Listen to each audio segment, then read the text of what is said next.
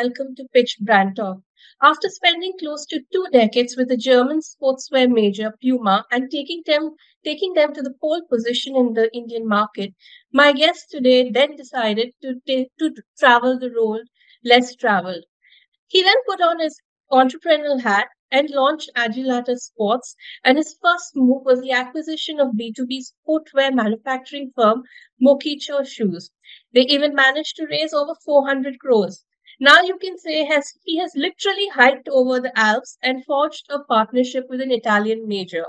Well, he does seem to have his running shoes on, and to tell us more, please welcome Abhishek Ganguly. Abhishek, welcome. Thank you. Thank you for having me. Abhishek, first, can you just tell us uh, tell us more now that you plan to bring in the uh, Lotto into the Indian market? So, what was it that prompted you to make this move, and what are you seeing the synergies with the parent company? Well, well before I get to uh, you know Lotto and our our, our license uh, partnership with with Lotto as a brand, I would say that um, the thesis of setting up Agilitas was primarily to see that sportswear is growing phenomenally in India. And by all terms, this is going to become like 4x of today's size in the next eight years, driven by a lot of uh, macro factors. Uh, most importantly, with the uh, widening of the uh, Indian middle class and more disposable income, and and India having a very young demographic, so my thesis to set up Agilitas was primarily stemming from that.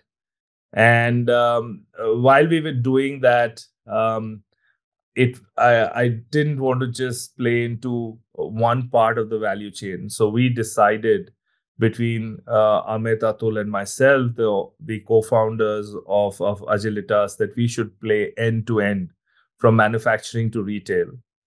Um, our first acquisition was a manufacturing company.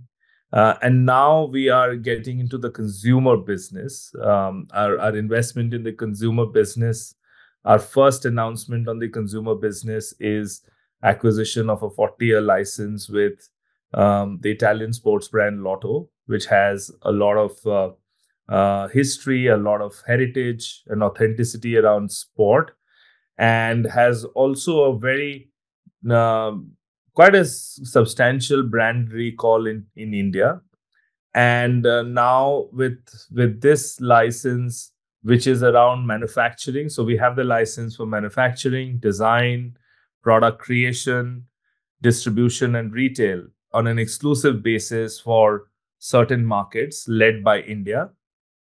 We are going to really get into the entire white spaces that we believe today exist um, which would be to deliver high quality sportswear, uh, both on the performance and athleisure side, uh, to the Indian consumer um, at a price which is uh, which is in favor of the consumer. Uh, you know, you mentioned uh, the 4x growth. So, can you give me an idea about the market size currently and what, uh, where do you see it down the road? Yeah, so the market today, by various estimates as well as reports, suggests that the premium and the mid uh, mid price uh, sportswear market, performance and athleisure put together is about a couple of billion dollars. Um, I'm ignoring the uh, extremely entry price point uh, product categories and the price points, um, but I'm talking more of the mid to premium. Um, that is a couple of billion. What is very interesting is what I previously said that this is going to become 8 billion by uh, 2032. Uh, so it's a the sh- the size of the prize is really growing um, at the at the behest of a lot of other things that is happening around the category and even beyond that. Uh, you mentioned about your acquisition, uh, the manufacturing acquisition. Can you elaborate a bit more on your business model? Well, yes. So Agilitas is a, a full-scale, comprehensive sports company, uh, sportswear company. We aspire to be India's largest sports company. We also aspire to be um, you know, originated from India, but for the world, we do have aspirations to take an Indian sports company global. Uh, in in the quest for this, we want to play on manufacturing, brand management, as well as retail. Um, and that is why our first investment was on a pure play uh, manufacturing company, Mochiko Shoes, which was set up 16 years back by Virender Aval and uh, six uh, and five other promoters of that company.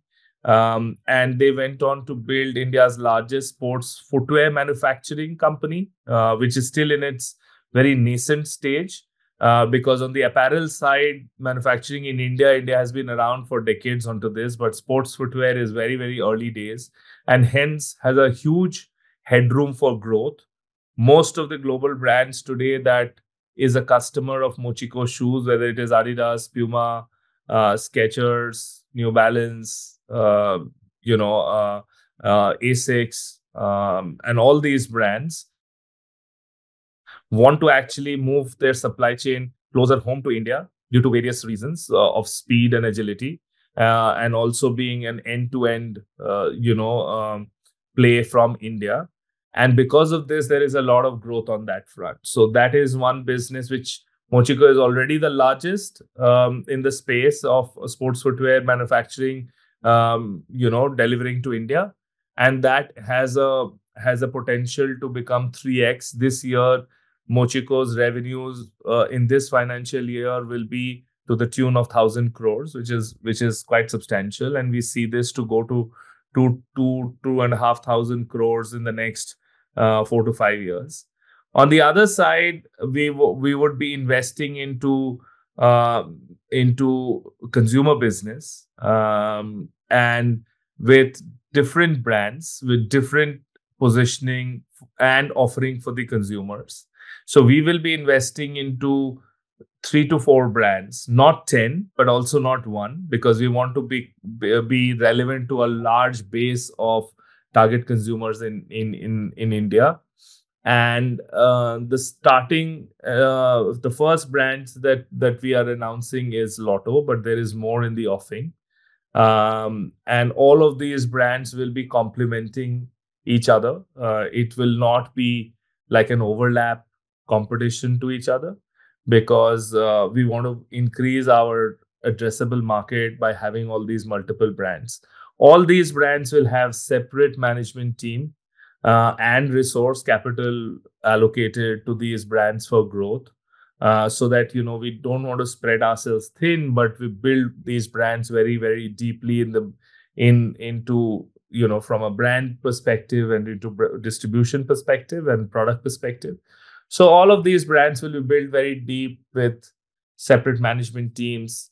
Um, so yeah, we are we as a business we are into business to business contract manufacturing. We will be into consumer businesses with multiple brands.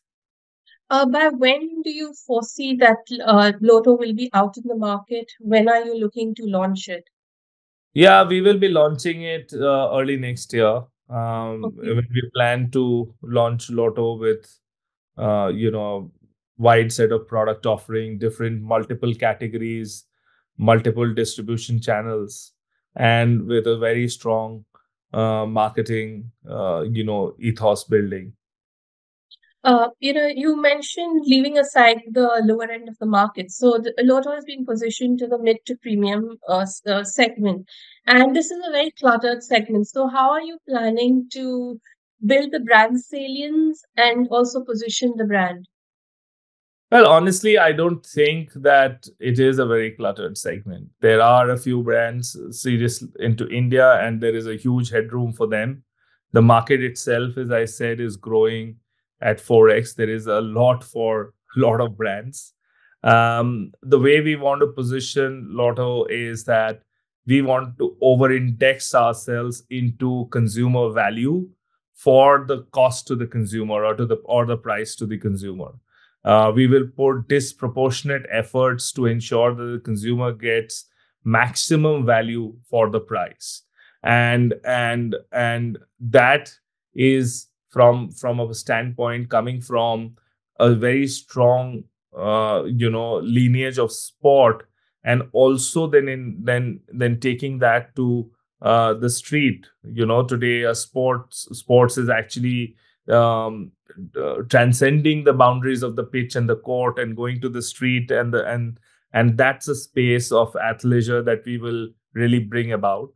Um, and and uh, we really want to stand for a great brand focused into India, a brand with a lot of heritage focused in India with a very strong sports, uh, you know, investment thesis. But on the other hand, bringing about products that um, the people on the street and on on outside the pitch can wear with, um, you know, um, uh, and and that adds to their fashion quotient.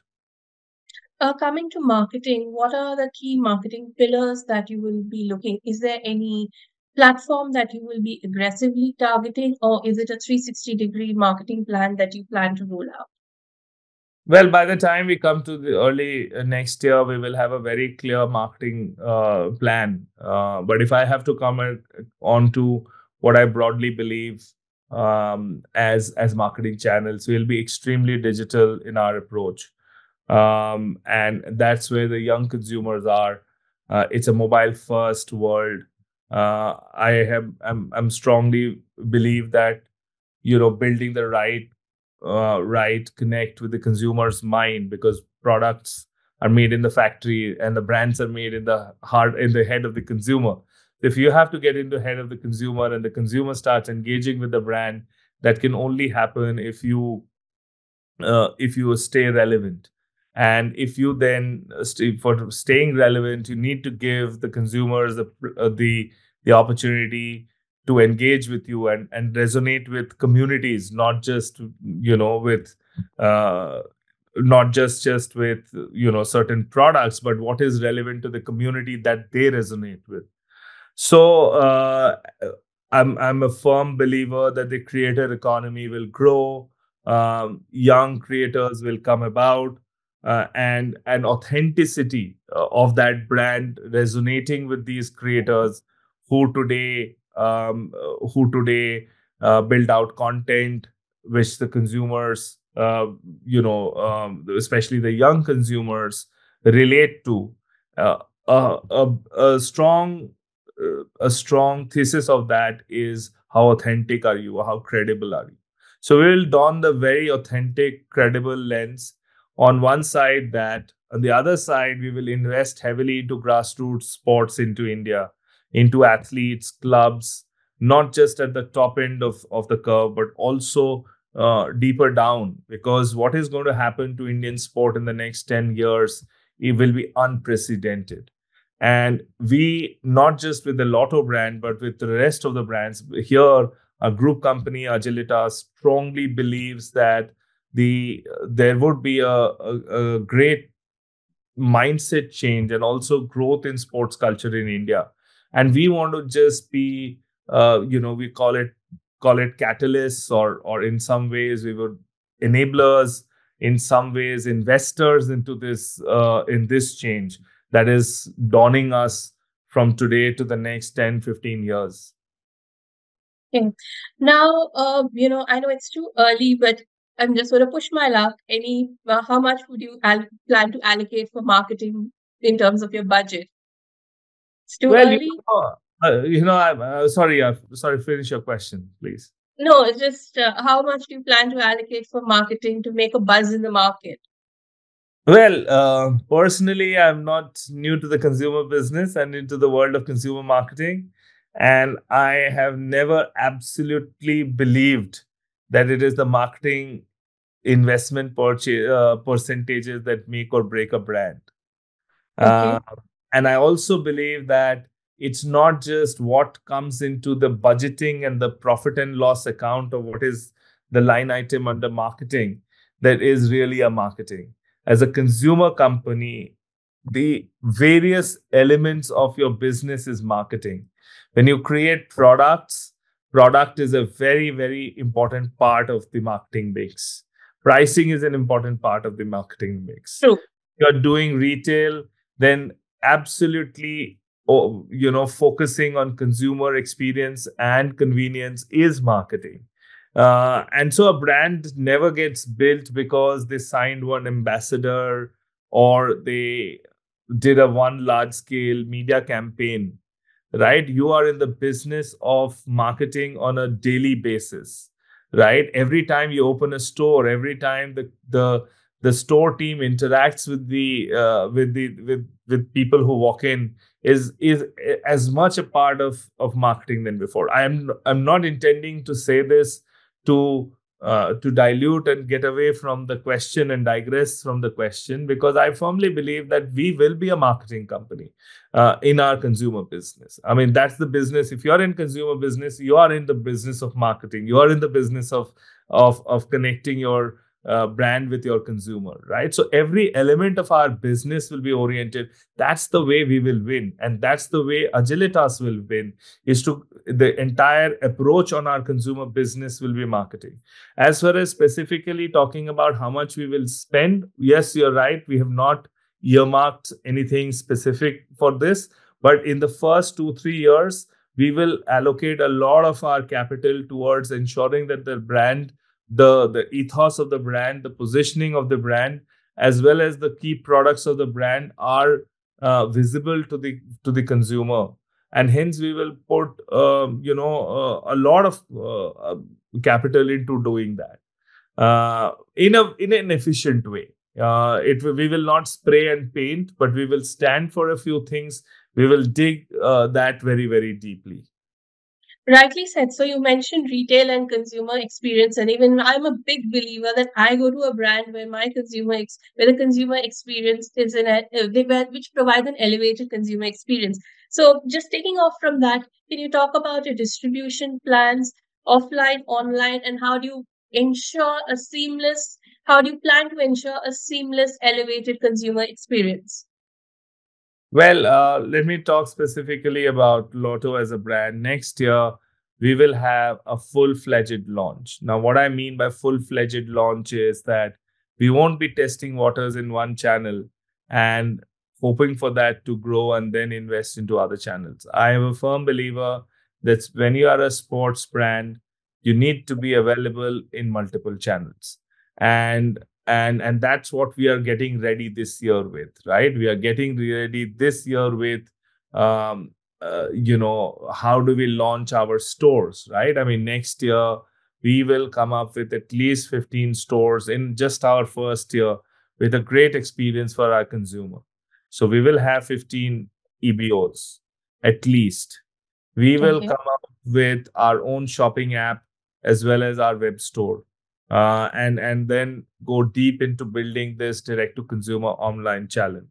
We will also uh, you know and, that comes uh, st- stems from a bit of the background of of all of us is that we would like to leverage the mark the marketplaces the the e-commerce marketplaces and partner up with up with them to deliver the consumer promise that we are creating around the lotto brand also, we will be available in departmental stores and regional retail players with shop in shops. So you will see Lotto next year spreading its wings through various channels with um, you know deep engagement with the consumer and putting the consumer at the first uh, first place in our uh, focus area.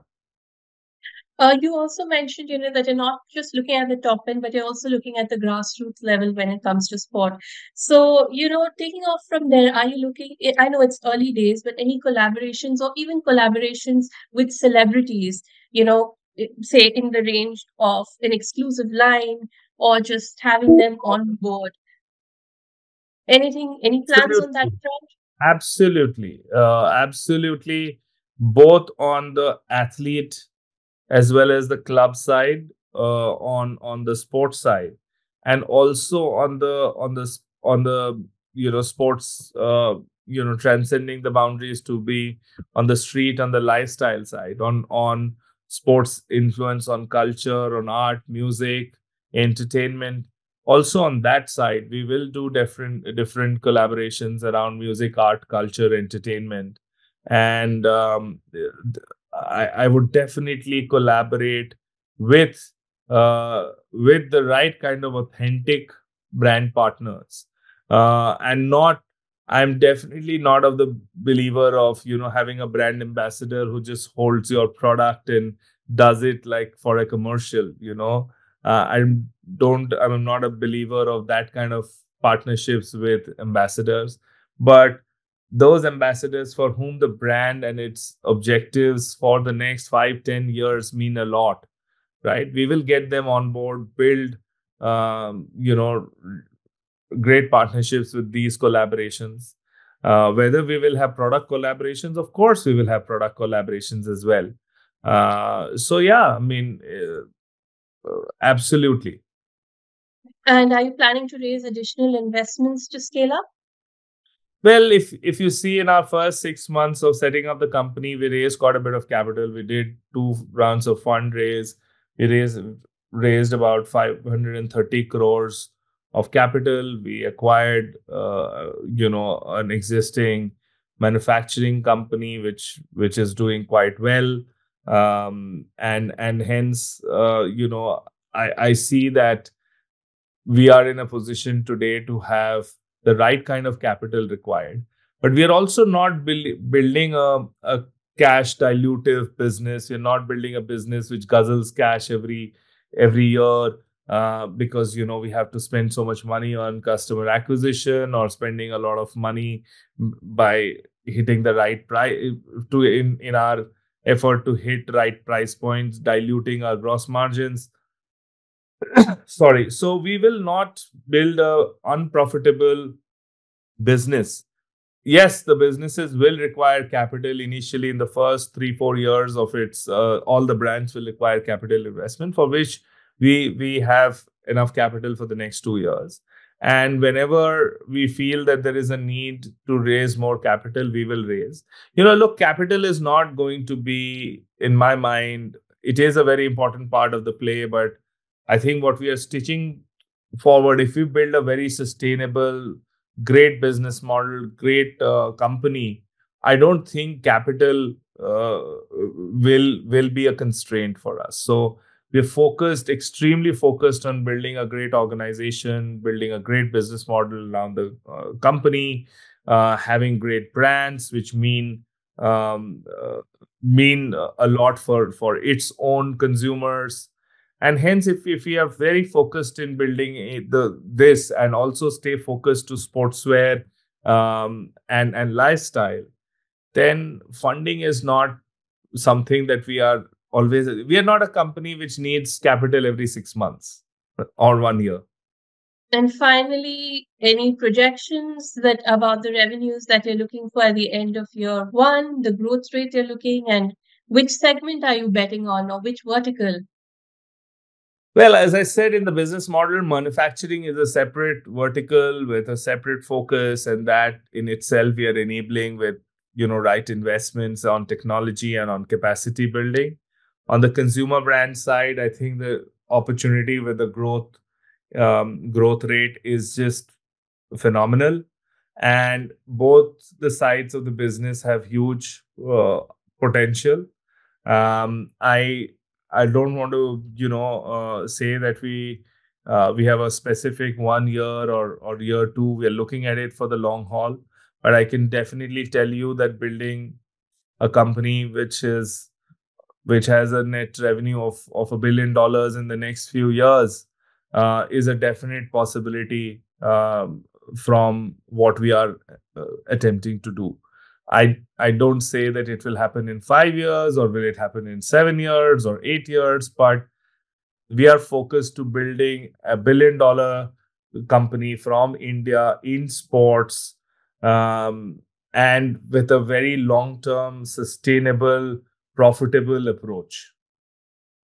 Thank you so much, Abhishek. And here's wishing you all the luck in building the billion dollar business. Thank you so much for taking time out. Thank you.